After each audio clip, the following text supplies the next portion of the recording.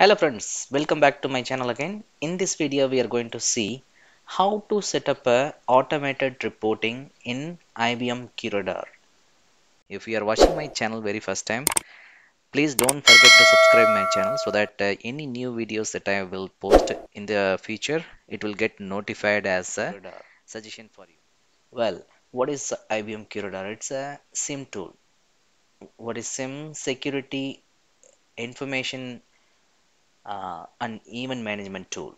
So this is one of the enterprise SIEM tool which can help to set up your uh, offense rules. Meaning, uh, if you wanted to set up any offense rules, which can help to trigger an alert in a way it can be notified to your security team to take necessary steps as an uh, as a regular activity. Wait, what is the offense?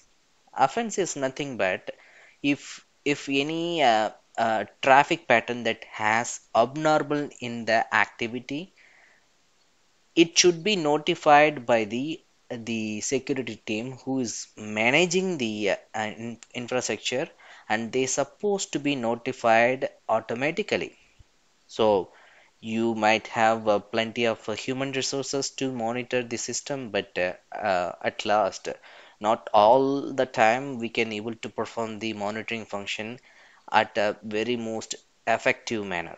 So in that case uh, if I wanted to put it in very simple term offense rule is nothing but it's kind of a uh, re repeated scripting that we are doing it on this tool so that whenever that scripting uh, what is it the workflow or flowchart has been matching for that traffic it will trigger an alert and send it to the respective team.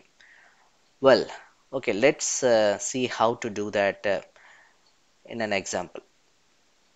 On the log activity just uh, I'm clicking on the search putting a new search over here.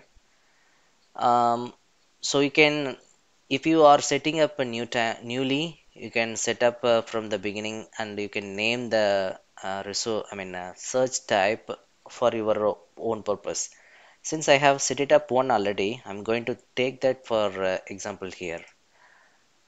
So this is the one Azure firewall logs. I have set it up this log for um, for my uh, Azure traffic for a specific application server.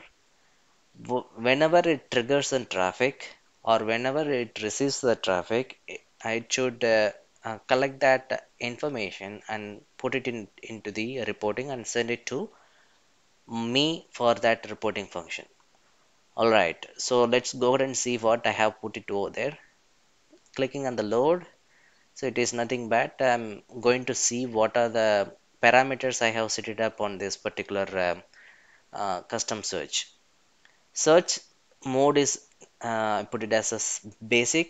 We don't need to go for advanced search. Uh, I want the um, it is purely up depends on your need only. If I, if you wanted to pull the uh, uh, reporting for real time last interval specific interval whatever you wanted to set it up you can set it up. I want this report for last 24 hours. And you can go up to seven days. So this is the uh, um, best opportunity or best option which we have available in, in the QRadar or if you wanted to pull the report specific interval say for example uh, uh, the application server will be accessible only during the business time not on the non-business hours. In that case you can specify the intervals uh, meaning um, 9 a.m eastern time until uh, 5 p.m eastern time uh, only. So which means that report will be pulled for that specific time frame only.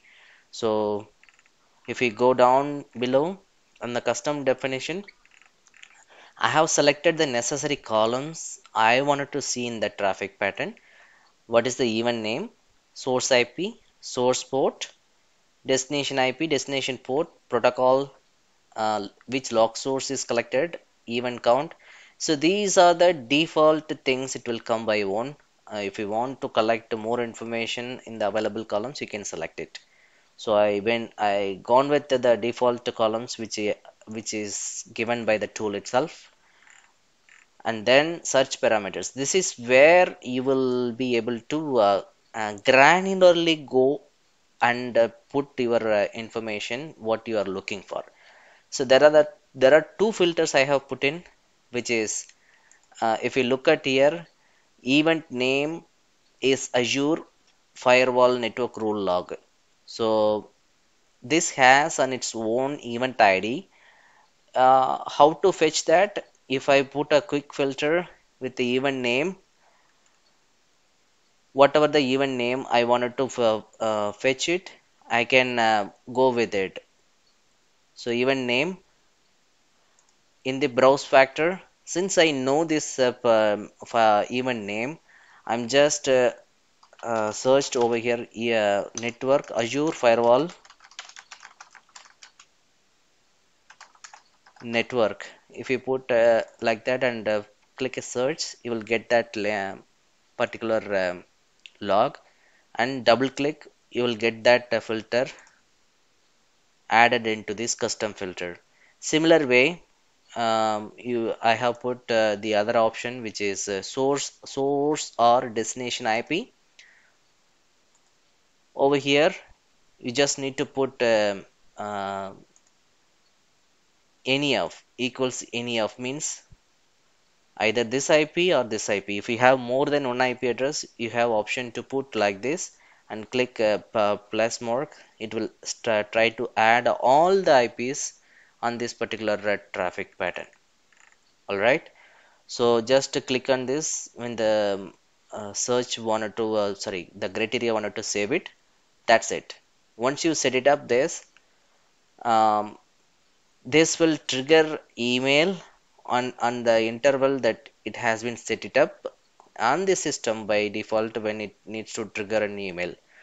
Uh, once the email has been triggered you will get an email like this. Uh, uh, so the like this over here you'll see the subject name as Azure firewall logs for the specific date. And whatever the people we wanted to deliver this we can uh, deliver it. And then uh, it has on its own uh, attachment with a CSV format so this is how um, the automated reporting can be set it up on the QRadar. So this is an one of the famous and uh, ultimate option available in QRadar for us to get us notified for certain things we wanted to get it notified on regular basis. Alright I think uh, this video was useful for you. If yes please don't forget to subscribe my channel for any new future videos that I am going to put. You'll, you'll be getting a uh, notification for you to get benefit for in the future. All right thank you guys. We'll catch up in the next time.